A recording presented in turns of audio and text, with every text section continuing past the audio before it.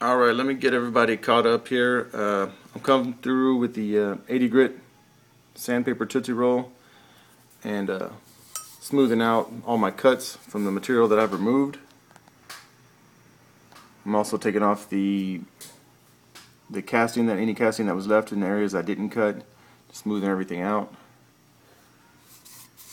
I had to stop. What was it? Two nights ago. I've been. I was doing this. I had to stop because I got all I could reach with my uh, short mandrel, and I was using my long mandrel, and I broke it. There's usually a tip on there that holds the tootsie roll, and it broke off. So I've had to order some. I've ordered some from uh, Eastwood.com, and we're waiting for those to come in so that I can get in there and finish areas that I can't reach with the short. I'll show you some areas here in a second.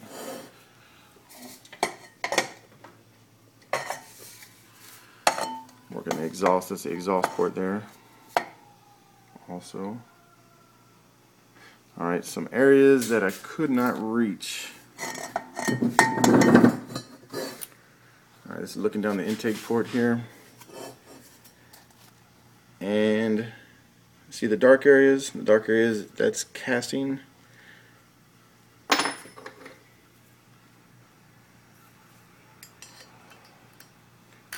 These edges over here, I'm going to need smaller Tootsie Rolls or a tapered Tootsie Roll or something to get down in here in the edges and get that out.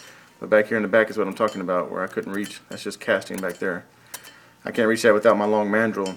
So I'm going to have to wait for the new one to come in so I can reach back there.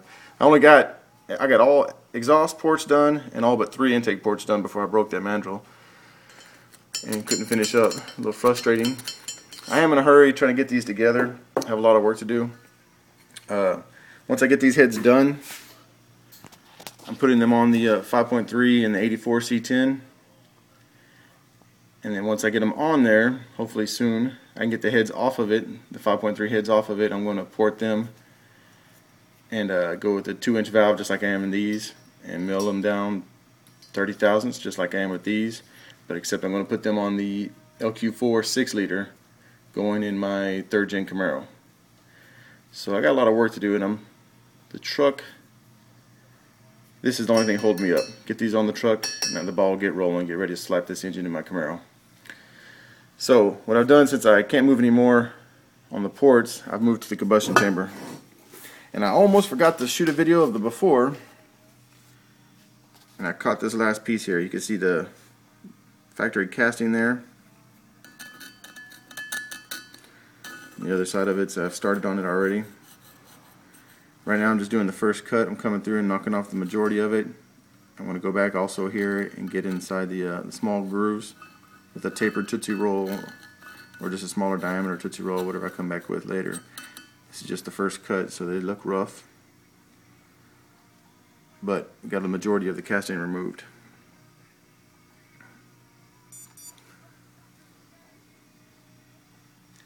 Hopefully I'll get this done tonight and touch up anything else I can while we're sitting here waiting for the, uh, the mandrel to come in the mail.